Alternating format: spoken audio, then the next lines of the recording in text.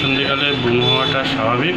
এর চিকিৎসা বাড়িতে না করে ডাক্তারের পরামর্শ নেওয়া উচিত, নয়তো ইন ফিউচারে এর থেকে মুখে কালো দাগ হয়ে যেতে পারে।